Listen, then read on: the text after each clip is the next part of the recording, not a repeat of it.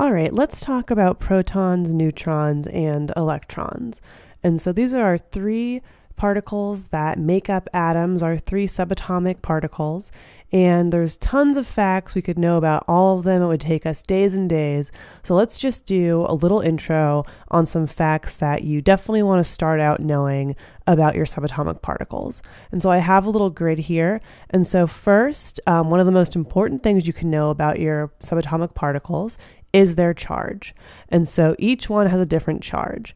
And so protons have a charge of positive 1, neutrons have a charge of 0, they're neutral, and electrons have a charge of negative 1.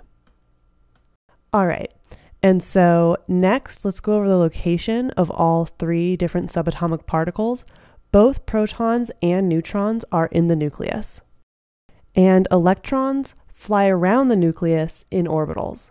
And so now that we have both the charge and the location of our particles, let's actually label in our particles on the left with their charge. So we know everything that's not in the middle, everything that's not the nucleus, is an electron because the only particle that's not in the nucleus is electrons. So all these little blue guys are going to have a charge of negative 1. And then all of our neutrons are going to have a charge of zero. And all of our protons have a positive charge. So overall, the nucleus has a positive charge, and the reason that atoms can be neutral is because the positive charge of the protons in the nucleus can be canceled out by the negative charge of the electrons that are flying around the nucleus in orbitals.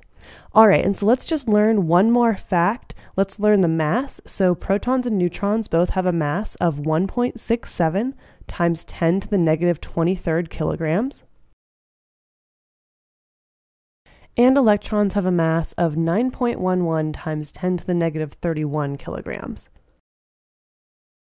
But these numbers are really scraggly and long. We wouldn't want to do any calculations with them. So scientists also made a new way to measure them, and they defined both protons and neutrons as weighing 1 AMU. And so AMU stands for atomic mass unit.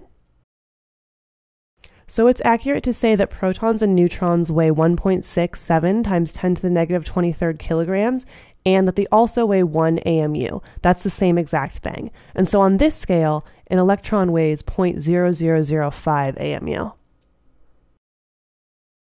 And so, one thing to remember is that almost all of the mass of any atom comes from the nucleus because our protons and our neutrons are way heavier than our electrons. So, you can think of these, and this is actually correct math, that if the protons and neutrons were elephants,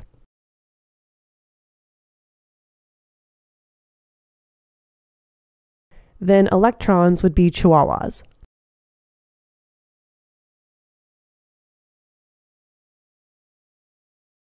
This is why, when we're calculating the mass of an atom, we usually only consider the mass of the protons and the neutrons, and we leave out the electrons, because the electrons are so much lighter that in most calculations we don't have to consider them because they're just so much lighter that they're not statistically significant.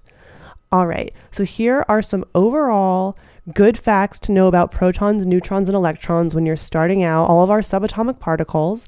And uh, I hope you enjoy the rest of your chemistry studying and that this video was helpful.